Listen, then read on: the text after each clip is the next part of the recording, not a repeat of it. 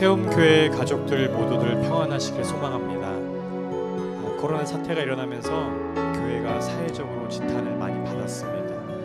교회 안에서도 예배에 대한 의견이 나누어지기도 하였습니다. 저는 이 상황을 보면서 고난을 대하는 요배 모습과 또 요배 친구의 모습이 다름이 떠올랐습니다.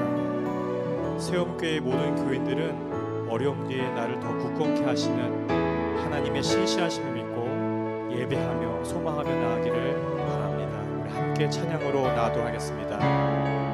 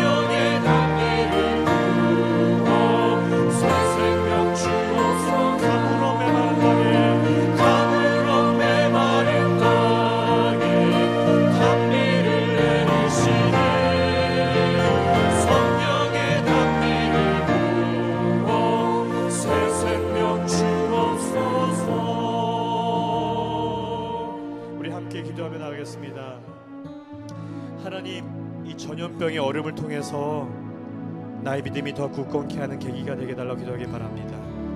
그리고 때때로 이 고난 가운데 내게 족한 은혜를 채우셔서 이 어려움을 잘 극복해 달라고 우리 함께 기도하겠습니다. 우리 하나님 그렇습니다. 하나님이 고난을 통해서 내가 또 하나님을 바라보기 원합니다. 하나님 욥과처럼 아버지 욥처럼 아버지 하나님 고난을 하나님의 아버지 하는 기회로 삼아 아버지 내가 더 굳건케 하며 아버지 내가 더 강건케 하는 그 아버지 하는 시기로 삼을 수 있도록 하나님 내가 하나님을 바라볼 수 있는 주를 간절히 원합니다. 아버지 하나님 이 어려운 가운데 내게 족한 은혜를 허락하여 주시옵소서 때때로 내게 필요한 은혜를 허락하여 주시고 때때로 아버지 성령 은혜를 허락해 주셔서 아버지 하나님 하나님 주시는 아버지 은혜를 말미암아서 잘 감당하며 잘 이겨나갈 수 있도록 아버지 인도시고 아버지 하나님 순간순간에 어려움이 있을 때마다 예배를 더 사모한 마음으로 하나님을 더욱더 사모하며 나갈 수 있도록 아버지 인도주시를 간절히 원합니다. 우리 아버지 세원모드 공동체가 아버지 동일한 성령의 역사 가운데 임할 수 있도록 아버지 인도해 주시고 아버지 고난을 잘 이겨내며 하나님께서 아버지 보시기에 정말 충성된 종으로 아버지 나가는 아버지 시기로 삼을 수 있도록 아버지 인도시를 간절히 원합니다. 하나님 오늘도 예배 드릴 때에 하나님의 아버지 안에 간절함을 나갈 수 있도록 아버지 인도시고 주님을 갈망하는 마음 나갈 수 있도록 아버지 인도시고 하나님 은혜를 사모하는 입이 될수 있도록 인도하여 주시옵소서. 하나님 오늘도 기대합니다. 오늘도 아버지의 말씀을 기대합니다. 찬양 은혜를 허락해 주시고 말씀의 은혜를 허락해 주시옵소서. 감사드리며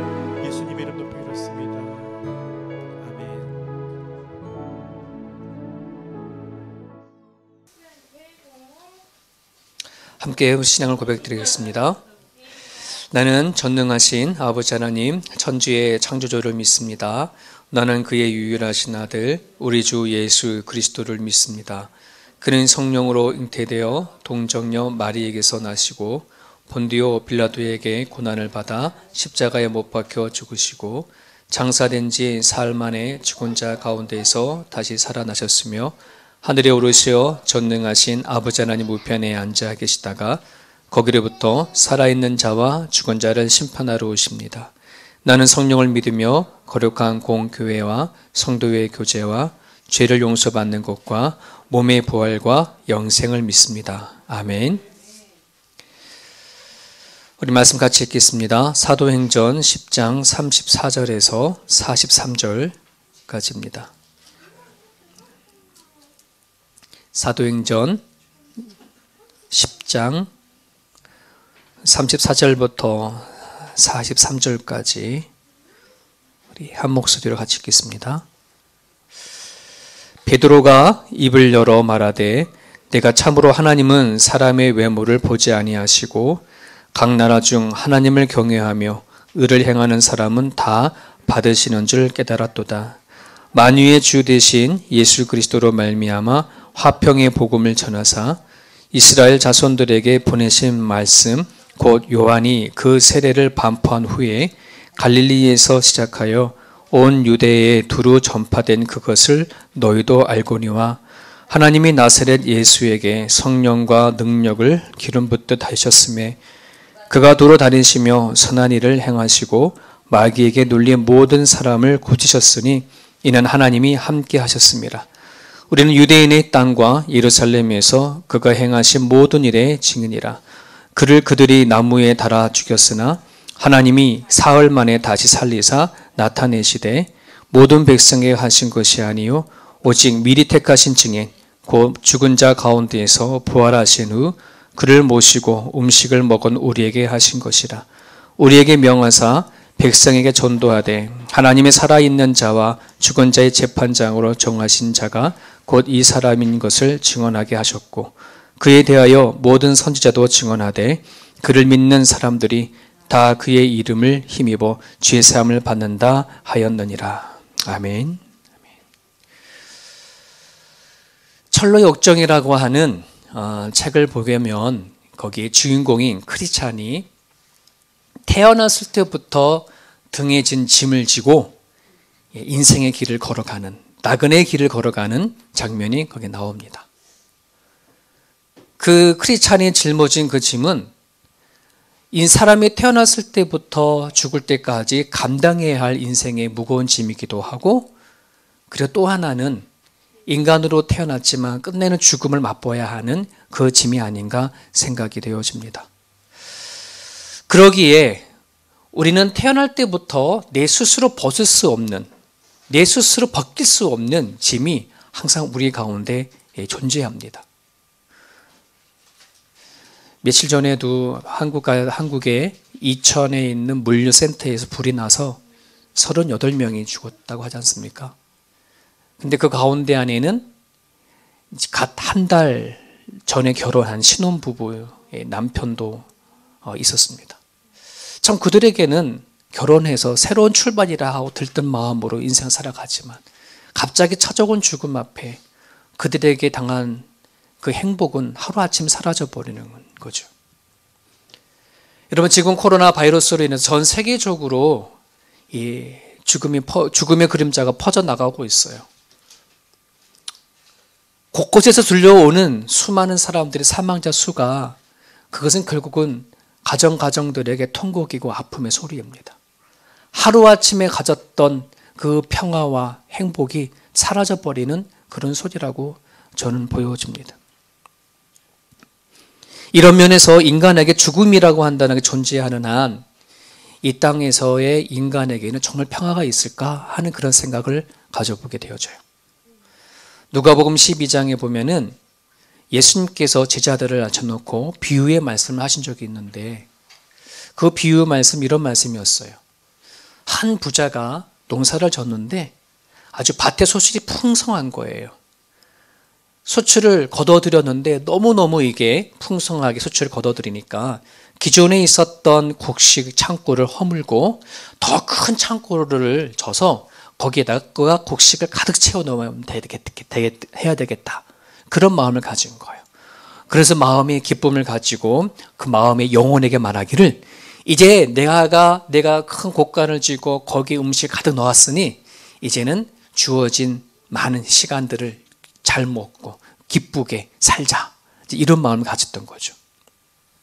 그런 마음을 가진 사람을 향해서 하나님이 이런 말씀을 던지십니다. 어리석은 자여 오늘 밤 내 영혼을 도로 찾으려니 그러면 너가 준비해 둔 것이 누구의 것이 되겠느냐 이런 말씀을 하시죠. 우리 딴에는 정말 내가 먹을 것도 다 가지고 있고 부족함이 없이 살아간다 할지라도 내 영혼을 오늘 걷어가 버리면 너가 무슨 소용이 있겠냐 이런 말입니다. 우리에게 죽음이 존재하는 한 지금 누리고 있는 모든 평안과 모든 행복과 내가 안전하다라고 하는 그 모든 것이 보장되어 줄 수가 없다는 것이. 이게 우리 인간들의 현 주소입니다. 근데 너무나 감사한 것은 우리의 이런 우리들에게 예수님이 오셨다는 거예요. 길이 되시고 진리 되시고 생명이신 예수님이 찾아오신 것. 이것이 복음이에요. 이것이 하나님 우리에게 주신 선물이죠. 철로 역정에서 짐을 지고 가는 그 인생의 나그네 길을 걸어가는 그 사람에게, 그 크리스찬에게 등의 짐을 벗을 수 있는 그 열쇠가 주어진 거와 다름이 없는 거예요. 오늘 하나님께서는 고넬료라고 하는 이방인의 사람과 그리고 베드로를 만나게 했고요. 오늘 드디어 그 베드로를 통해서 고넬료가 듣는 하나님의 말씀이 있는데 그 하나님의 말씀이 과연 뭐냐? 오늘 성경에는 화평의 복음, 평화의 복음이다라고 그렇게 얘기를 해줘요. 하나님께서 그토록 고넬료에게 베드로를 통해 전하고자 했던 것이 뭐냐? 예수님을 통해 전해주는 화평의 복음이에요. 평화의 복음이에요. 오늘 우리가 받은, 내가 받은 복음 또한 그 복음이라고 한다는 것입니다. 그 복음은 죽음에서 자유하는 복음입니다. 내 인생길을 걸어가는 데 있어서 내가 스스로 벗을 수 없는 짐을 벗을 수 있는 자유케 하는 그런 복음이라는 것이에요. 그런데 너무 안타까운 곳이 있어요. 그것이 뭐냐 그러면 많은 크리스찬들이 예수님을 통해서 내가 짊어졌던 그 짐을 벗을 수 있는 그 키를 받았고 방법을 알게 되어졌음에도 불구하고 그 짐을 벗고 있지 못하다는 거예요. 벗지 못한다는 것이에요. 손에 진 키는 갖고 있어. 그게 뭐냐라고 여쭤보면은 다 예수님이 돼요. 그러면 그 예수님을 가지고 뭐 해야 되는 거예요? 내가 진 짐을 풀어버려야지 되죠. 자유함을 얻어야지 돼요. 그럼에도 불구하고 너무나 안타까운 것은 그 내 손에 있는 키를 이것만 가지고 내가 지금 살아가고 있다고 한다는 것이에요.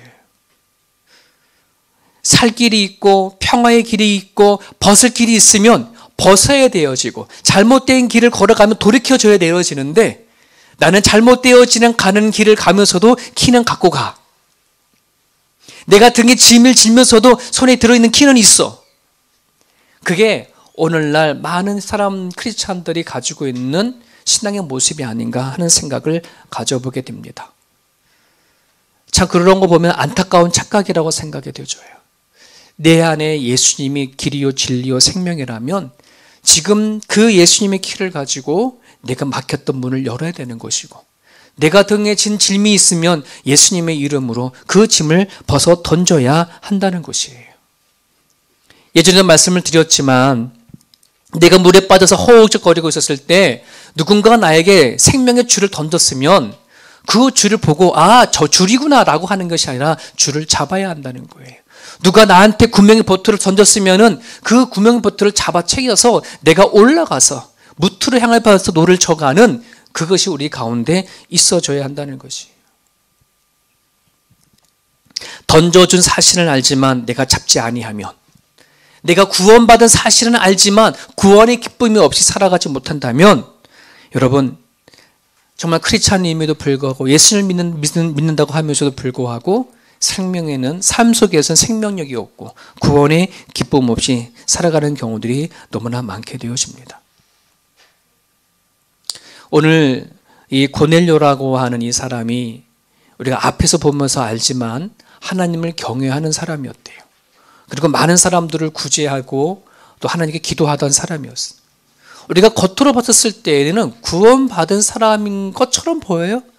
하지만 하나님은 예, 그러한 고넬료를 향해서 베드로를 통하여 진정한 예수님의 화평의 복음을 전하게 해서요. 겉으로 봤었을 때는 구원에 받기에 부족함이 없었지 모르지만은 하나님이 봤었을 때에는 그 심령 안에 생명이 있는 진정한 평화의 복음이 갖고 있지 않다라고 한다는 것입니다. 오늘 저는 여러분들이나 모양새는 구원받은 사람 같았지만 우리 갖는 마음의 심령이 정말 구원의 기쁨을 갖고 살아가는가? 생명의 능력을 갖고 살아가는가? 그것을 우리 스스로 한번 질문을 던져 봐야 되겠습니다. 과연 정말 내 안에 화평의 복음이 있는가? 평화의 복음이 있는가? 내 삶에 대한 자유함이 있는가? 죽음에 대한 자유함이 있는가?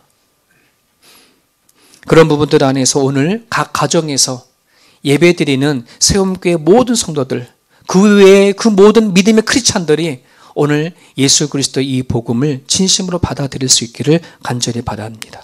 여러분의 그 어, 복음이 여러분의 마음과 여러분의 삶에 초청할 수 있기를 간절히 바랍니다.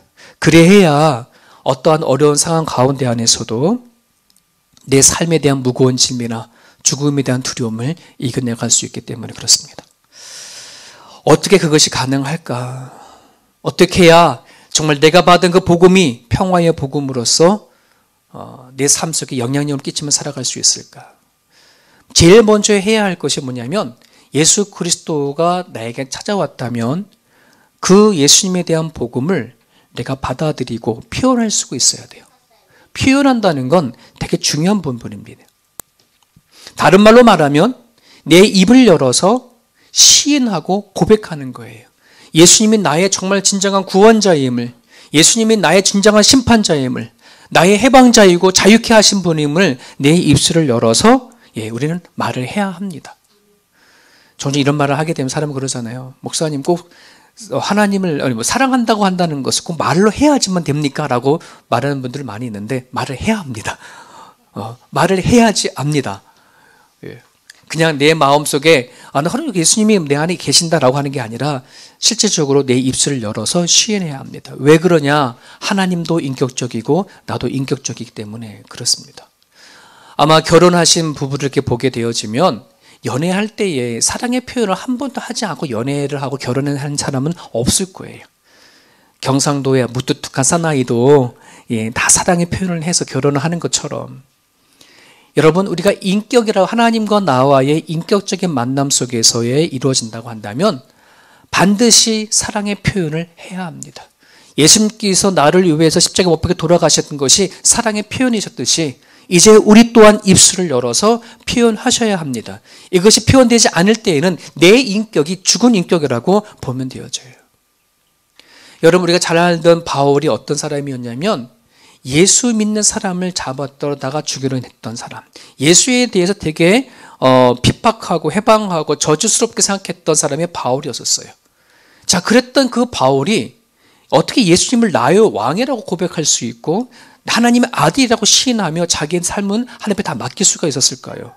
그것은 분명히 분명히 바울은 예수님을 만났기 때문에 그래요. 예수님이 어떠한 분인지 정확하게 그가 알았고 느꼈기 때문에 그는 그동안에 보여줬던 그 모든 삶들을 다 내려놓고 예수님을 입술 열어 시인하기 시작했어요. 예수님을 인정하기 시작했다고 한다는 거죠. 그게 우리 삶 가운데도 있어져야 한다는 거예요. 바울이 예수님을 만나기 전에 그가 의롭다라고 붙잡고 살았던 것이 뭐냐면 율법이었어요. 율법. 요즘을 말하면 그냥 세상의 법이라 얘기도 되는데요. 여러분 율법이라고 한다는 것은 어떤 거냐면 100가지를 아무리 잘못 잘했다고 하더라도 한 가지를 잘못하면 그 사람은 그 한 가지 때문에 벌을 받는 게 율법이에요. 열 가지 잘한 것을 가지고 한 가지 못한 것을 커버할 수가 없는 거예요. 여러분 그런데 우리 인간이라고 하는 존재는 태어났을 때부터 죄성이라고 하는 걸 가지고 태어나요. 우리는 너무나 부족하고 연약한데 율법은 그것을 봐주지가 않아요. 우리가 아무리 연약하다라고 하고 부족하다라고 해서 괜찮아 너는 그런 마음이 있으니까 괜찮아라고 하지 않는다니까요. 율법은 가차 없어요. 죄면 다 죄인 거예요. 우리의 어떤 행위나 어떤 우리의 노력으로나 결코 선을 행할 수 없고 천국할 수 없었던 것이 바로 율법적인 삶이었는데 바울이 예수님을 만난 이후에 자기의 모습이 어떤지 발견한 거예요. 나는 정말 하나님 아니면 구원받을 수 없는 존재구나. 나는 지극히 나는 죄인 중에 죄인이구나. 라고 하는 것을 알게 되어지고 인정하게 되어져서 예, 바울이 이런 고백을 했어요. 나는 죄인 중에 정말 개수입니다. 하나님 아니면 안 됩니다. 하나님 앞에 나라라고 하는 존재는 절망입니다. 라고 하는 이 고백이 터져 나왔었을 때에 그제서야 예수님의 사랑을 경험할 수 있었어요. 오늘 우리들이 정말 예수 그리스도의 그 말씀이 예수님이 내 자신의 평화의 복음이 되기 위해서는 내 스스로 고백해야 합니다. 나는 하나님, 나는 내 스스로는 절망적인 겁니다. 하나님이 아니고서는 나는 정말 지옥 갈 수밖에 없는 존재고 내 스스로 의로울 수 있는 존재가 하나도 아닙니다라고 하는 것을 하나님 앞에 고백해야 합니다. 시인해야 합니다. 그럴 때 진짜 우리 안에 계시는 사랑의 예수님을 경험할 수 있어요. 그것이 경험되어져야 이제 내가 짊어졌던 그 짐을 법하는 그 시작이 출발이 되어지는 거예요. 평화의 복음을 받아들이기 위해선 제일 먼저 우리가 해야 할 것은 예, 이처럼 표현하는 거예요. 시인하는 거예요. 그 다음 단계가 뭐냐면 확신하는 단계, 확신하는 단계. 여러분, 우리가 무엇인, 무엇을 지식적으로 안다는 것과 실질적으로 그 어떠한 것을 내가 확신하는 것은 아주 큰 차이점이 있고 너무 다른 일이에요. 구약에 보면 다니엘서의 그 다니엘 세 친구 이야기가 나와요. 느부갓네살이 금신상을 만들어 놓고 유대인들을 향해서 끌려온 포로인들을 향해서 다 절을 하라 했었을 때에 다니엘과 그의 친구들은 예, 하나님을 믿는 그 신앙으로 절하지 아니하고 예, 형벌을 받게 되어지죠.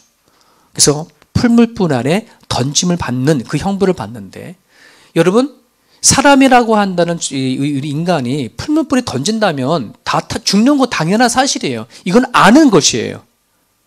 이 암을 이 안다라고 하는 이, 이 앞에 과연 새 다니엘과 그 친구들이 어떤 모습을 보였어요? 안다고 하는 것을 가지고는 아마 절대 들어가지 못했을 거예요. 하지만 하나님이라고 하는 분이 우리와 함께 한다는 것에 대한 확신이 있었기에 믿음이 있었기 때문에 아는 것을 넘어서 그 풀문본에 들어가지 않습니까? 아는 것과 확신하는 것은 너무너무너무 큰 차이예요. 오늘 우리들이 왜 하나님을 알고 있으면서도 불구하고 하나님을 믿으면서도 불구하고 삶에 대한 변화가 있지 않냐면은 아는 것에 머물러 있기 때문에 그래요. 확신이 우리 가운데 없어서 그래요. 구원에 이르는 믿음은 교리를 아는 것이 아니고 하나님을 아는 것이 아니고 우리의 신념으로 구원받는 것이 아니라 하나님을 믿는 확신 속에서 그 믿음은 얻게 되어진다는 사실을 여러분 기억했으면 좋겠습니다. 더 이상 하나님을 믿는데 방관한 제사로 뭔가 아, 알고 있다 하는 것에 머물리지 않으시기를 간절히 바랍니다. 확신을 가지고 예배하셔야 합니다. 확신을 가지고 기도하셔야 하고 확신을 가지고 찬양해야 합니다. 내가 한 번 기도해도 한 번 찬양해도 확신을 갖고 해야 되는 것이지 그냥 남 따라서 한다고 그것이 기도가 아니에요. 찬양이 아니에요. 예배가 아니에요. 내가 하나님 앞에 믿음을 갖고 가져가야 하나님에 나아가야 그 예배가 예배에 닿아진다는 사실이에요. 여러분 코로나 바이러스가 우리로 하여금 거리두기를 하지 않습니까? 근데 하나님과 거리두기 하면 절대 안 됩니다. 이건 죄입니다. 예. 사람과 거리를 둘 줄 몰라도 하나님과 거리를 둬서는 절대 아닙니다. 주님이 나 위에 오셨고 나 대신에 죽으셨다고 하는 이 믿음과 확신이 있다면 기꺼이 하나님 앞에 나아갈 수 있기를 바랍니다. 여러분 베드로를 통해서 예수님을 들었던 고넬료가 바로 뒤에서 읽지 않았지만 뒷부분에 가면 세례를 받지요. 근데 그 세례를 받는 것이 아 예수님이 그런 분이구나 그냥 안 읽고 믿는 그 세례가 아니었었어요. 고넬료는 예수님이 오셔서 수많은 사람을 병을 치료한 것까지도 그는 받아들였고 3일 죽은 다음에 3일 만에 부활하셨던 생명의 근원 되어 주신 것을 믿고 확신했기 때문에 받은 세례였다는 말이에요.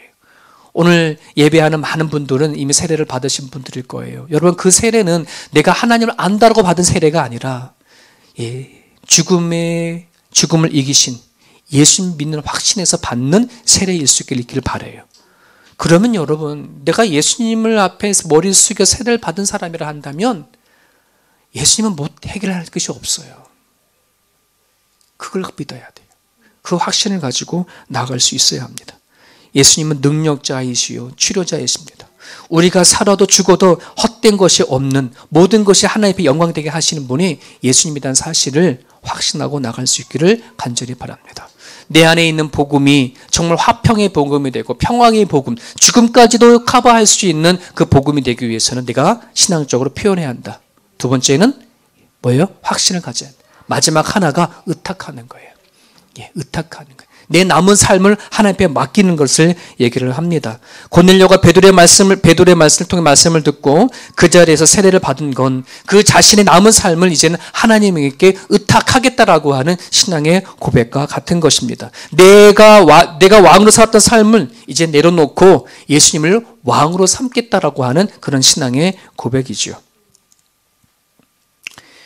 우리가 살아계신 하나님을 모른다고 했을 때는 어쩔 수 없지만 이제는 그 하나님이 살아계심을 알고 아, 죽음에서 부활하신 예수님 내가 믿는다면 이제 그 하나님 앞에 내 남은 삶을 예, 다 의탁하고 살아갈 수 있기를 간절히 바랍니다. 자, 근데 이것이 가능하려면 무엇이 이루어져야 되냐면 예수님은 이 세상을 위해서 오셨다라고 하는 그냥 포괄적으로 받아 생각하는 게 아니라 나를 위해 오셨다고 하는 이 확신이 있어야 돼. 이 믿음이 있어야 돼요. 저도 이제 저도 이제 어, 신앙을 통해서 이렇게 여기까지 오게 되어졌는데요. 예전에는 그걸 몰랐어요. 그냥 예수님께서 온 세상을 위해서 오셨다라고 포괄적으로 믿었지 나를 위해서 오셨다. 나를 위해서 죽으셨다라고 확신을 들고 믿은 고백은 그렇게 오래되지가 않았어요. 예수님을 이론적으로 학문, 학문적으로 내가 대하려고 했지 나를 위해서 실질적으로 오신 주님을 생각하지 않고 믿었을 때가 참으로 많이 있었다는 것이죠. 고린도 후서 13장 5절에 이런 말씀이 있어요. 너희가 믿음 안에 있는가? 너희 자신을 시험하고 너희 자신을 확증하라. 예수 그리스도께서 너희 안에 계신 것을 어, 계신 줄을 너희가 스스로 알지 못하느냐? 그렇지 않으면 너희는 버림 받은 자들. 너희 스스로 한번 확인해 보라는 말이에요. 너의 마음속에 예수님이 정말 계시느냐? 그 예수님이 안 계시면 너는 버림받은 자다. 근데 저는 머리에는 하나님이 계셨어요. 내 생각 속에는 하나님, 하늘도, 하늘에 하나님도 계시고, 예수님도 계시고, 성령님도 계시고, 다 내 머리로 알고 있었지만, 내 마음 안에는 안 계셨다는 거예요. 어느 날 내 마음에 하나님이 계신가를 확인해 봤더니 안 계시더라는 거예요. 그건 내 스스로 버림받는 거라는 말. 확인해 봐야 합니다. 정말 내 생각과 내 마음 그 중심에 살아가시 계신 예수님이 내 안에 계신가를 확인해 보셔야 합니다. 내 안에 예수님이 계시는 것을 내가 스스로 느껴져야 그제서야 내 남은 삶을 전적으로 의탁할 수 있지. 그 내 안에 있는 마음에 예수님이 안 계시면 내 삶을 의탁할 수 없어요. 맡길 수 없어요. 불안하기 때문에. 두렵기 때문에. 염려와 근심이 끊임없이 몰려오기 때문에. 오늘 저는 여러분들이나 여러분 마음속 안에 예수님이 계신다면 우리 마음속에 는 10년 가운데 염려와 근심, 두려움을 벗어낼 수 있기를 바랍니다. 안타까움이 있지만 많은 크리스찬들의 60에 70% 정도가 염려와 근심을 갖고 살아간다고 그래요. 그 말하는 예, 내 안에 예수가 확신하지 않고 살아간 사람이 그렇게 많다는 것이죠. 말씀을 정리하고자 합니다. 오늘 베드로는 어, 고넬료에게 분명히 예수님은 살아있는 자와 죽은 자의 심판자임을 선포합니다. 살아있는 자도 죽음이 문제예요. 죽은 자도 제2의 죽음, 뭐예요? 영적인 죽음이 문제입니다. 예. 근데 예수님은 내가 살아있는 자의 죽음도, 죽은 자의 영적인 죽음도 심판하시는 하나님이에요. 그 예수님께 우리 가운데 오셔서 우리의 구원자로 예, 와 계신다는 사실이에요. 믿고 나갔으면 좋겠습니다. 여러분, 어, 쥐를 잡는 전문가가요, 쥐를 얼마나 쉽게 잡느냐, 이렇게 잡더라고요. 큰 통 안에 물을 3분의 1을 집어넣고 그 위에다가 예, 먹을 거를 잔뜩 뿌려 놓아요. 그러면 이 먹이가 물 위에 둥둥 떠 있거든요. 근데 쥐는 그걸 몰라요. 그럼 통에다가 이렇게 사다리를 해놓아서 이 쥐들이 사다리를 타고 다리를 타고 또 올라오면 자기 앞에 펼쳐지는 거는 먹는 먹이에요. 밖에 안 보인다 그래. 그럼 거기에 얘가 사정없이 뛰어들어요. 그럼 그것도 바로 미, 물이거든요. 물에 빠져 허덕이면서 입은 거기 있는 먹이를 먹어요. 그 다음에 쥐가 또 따라 올라오는데 그 쥐는 허적거리는 쥐가 안 보이고 눈에 보이는 먹이를 향해서 또 뛰어들고 또 뛰어들고 또 뛰어들어요. 한 통 안에 수십 마리가 들어와더라도요 멈추지 않아요. 왜 그럴까요? 그 쥐에게는 보여지는 먹는 것만 눈에 보이기 때문에 그래요. 그 밑에 있는 예, 물이 보이지 않고 빠져 죽어가고 허우적거리고 있는 예, 동료 쥐도 눈에 들어오지가 않아요. 먹는 것이 먼저기 때문에 그래요. 여러분 하나님의 사람은 죽음 너머에 있는 지혜를 갖고 있는 사람들입니다. 우리에게 다가오신 예수님이 어떤 분인지를 알고 살아간 사람들입니다. 먹고 살기 위한 지혜가 아닌 하나님이 어떤 분이신지를 알고 살아가는 사람들입니다. 무엇이 우리를 영원하게 하는지, 무엇이 우리의 마음을 평안을 평안을 주는지를 알고 살아가는 사람들입니다. 그러기에 더 이상 우리 손에 쥐어진 그 키만 바라보고 있지 마시고 내 안에 들어와 계신 내 안에 오신 예수님을 내 삶 가운데 적용하시기를 바랍니다. 예수님을 표현하시고 예수님에 대해서 확신을 가지시고 그리고 예수님께 남은 삶을 의탁하고 살아갈 수 있는 저와 여러분의 모습이 되기를 간절히 바랍니다. 같이 한번 기도하겠습니다. 주신 말씀을 붙잡고 이 시간 기도하기를 원합니다. 나 예수님을 알아, 하나님을 알아. 성령님 하나님이 나와 함께 계셔. 우리는 그렇게 알고 있는 것에 머물르지 않기를 원합니다. 알면, 느끼면, 결단에 세워지면 표현할 수 있게 해달라고. 확신을 갖고 내 남은 인생을 맡길 수 있는 삶이 될 수 있게 해달라고 하나님 앞에 기도하고 나갈 수 있기를 바랍니다. 문제가 있거든, 염려가 있거든, 걱정이 있거든, 죽음 앞에 두려움이 있거든, 예수님 앞에 가지고 나갈 수 있기를 간절히 바랍니다. 내에게 온 복음은 평화의 복음입니다. 화평의 복음입니다. 그 평화의 복음이 내 모든 삶을 주장할 수 있게 달라고 하나님 앞에 기도가 나기를 원합니다. 기도하겠습니다. 하나님 감사합니다. 성령님 우리 가운데 지금 주시옵소서.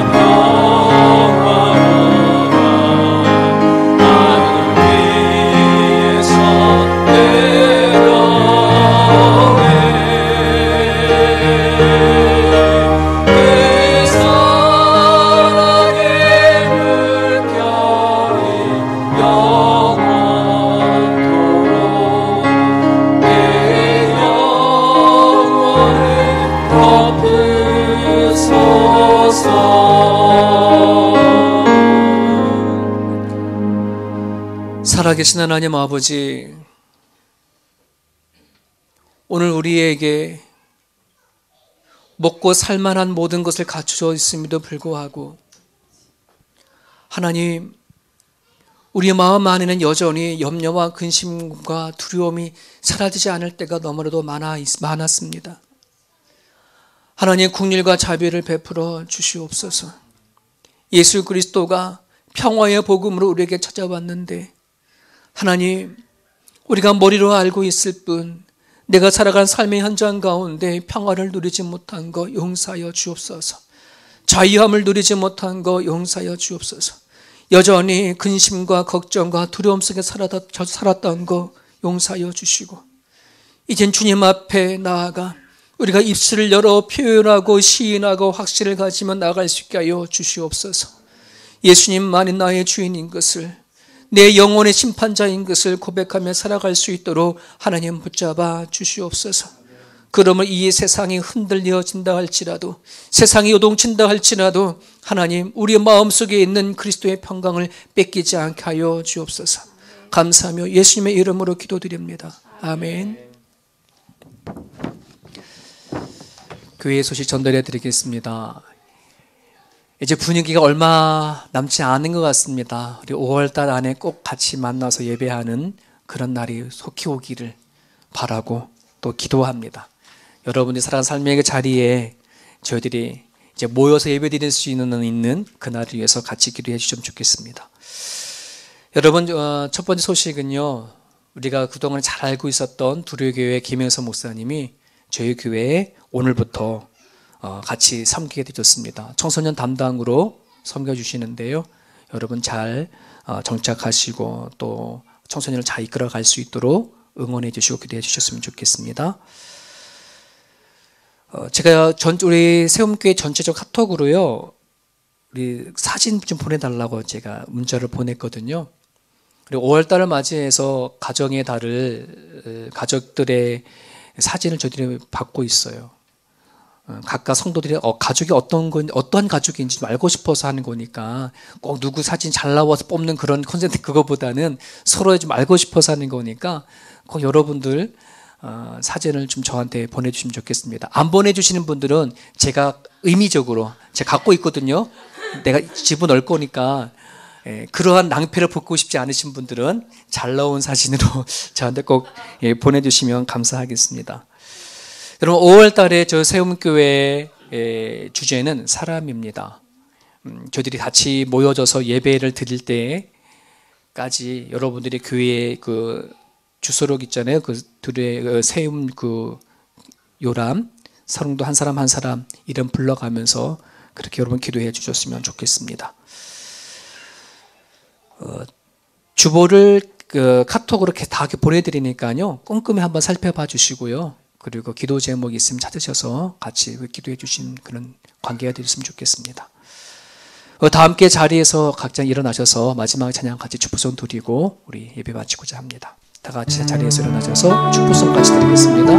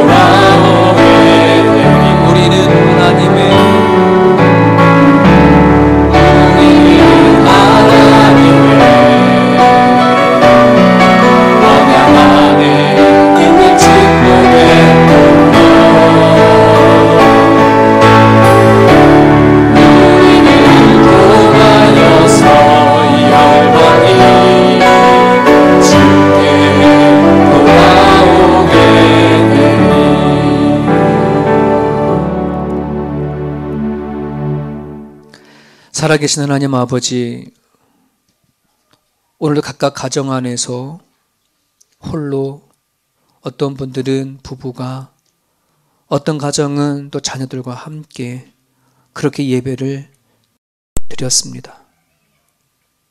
하나님, 저들의 예배를 받아 주옵소서. 하나님을 사모하는 마음으로 찬양하고 기도하는 저들의 그 자리에 하나님 임재하여 주셔서 가정 안에서 예배하고 기도하는 자마다 개인의 영성이 회복되게 도와주시옵시고 가정의 영성이 회복되게 하여 주셔서 그 가족들이 하나님 살아나서 이웃에게 세상으로 흘러갈 수 있는 정말 축복의 통로가 되게 하여 주시옵소서. 오늘도 기쁨을 가지고 주님 앞에 예물 드리는 지는 손길들이 있습니다. 11조로 주일 헌금으로 감사 헌금으로 목적 헌금으로 선교 헌금으로 주시는 모든 예물을 주님 기억하여 주시고 바르게 사용되게 도와주시고 사용되어지는 곳곳에 하나님이 일하심을 우리가 바라볼 수 있도록 역사하여 주시옵소서. 요 하나님은 모든 살아가는 삶의 형편을 다 아십니다. 우리의 하나님이십니다. 우리의 아버지십니다. 우리의 심판주이십니다. 이제 모든 걸 맡기고 나갈 수 있도록 도와주셔서 살아가는 순간순간에 기쁨이 되게 하시고 감사가 되게 하여 주옵소서 드린 자들마다 만족함이 있게 하시고 기쁨이 있게 하여 주시옵시고 하나님께 살아서 호흡하시는 것을 바라보게 하여 주옵소서 감사하며 예수 그리스도 이름으로 축복하며 기도합니다. 이제는 우리 주 예수 그리스도의 은혜와 하나님 아버지의 무한하신 사랑하심과 우리 옆에서 동행하시고 호흡하시는 성령님의 감화 감동 역사 충만하심이 내가 받은 복음이 화평의 복음이요 평화의 복음인 줄 깨달아 알아 살아간 삶의 현장 가운데 하고 확신을 갖고 남은 삶을 의탁하며 살아가기를 다짐하며 또한 하루를 보내는 성도들 머리 머리 위에 이제부터 영원토록 함께 하시옵기를 간절히 축원하옵나이다. 아멘.